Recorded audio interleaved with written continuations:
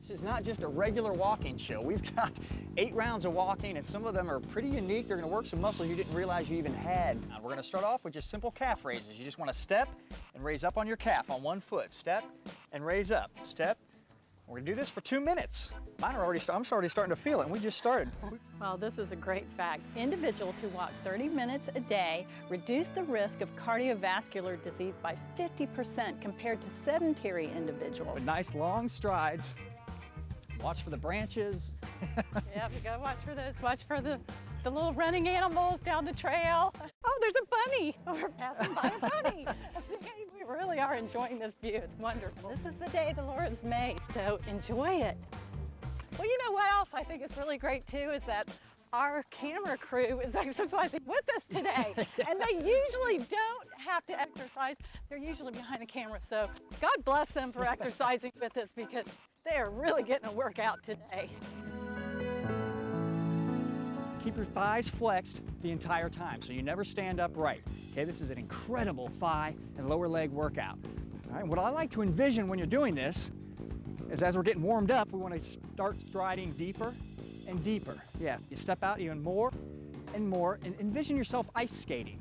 I never noticed this before, but girl, squirrels look like they're praying, they're eating. Grab the food and do this. be called a crossover. So turn sideways.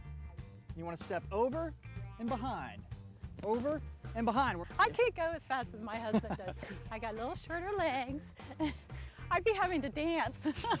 well, walking is great. It's free. It doesn't require any special equipment. It's easy to fit into your day. Yeah, that crossover is a neat one because it really yes. works more of the stomach area, works that torso, that core, and that twisting. And then of course the lower walk, that one, you talk about cardio oh. and strength for the thighs.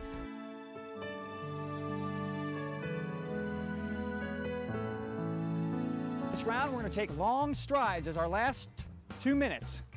So as long as you can stretch. Okay, so stretch way, way out.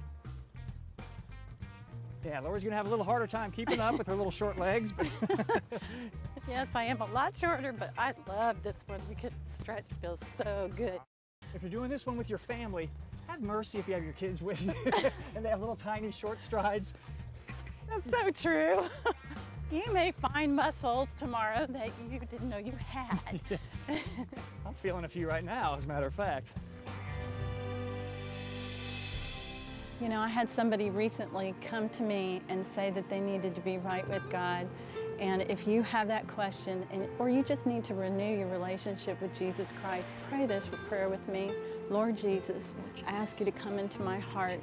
I ask you to forgive me of my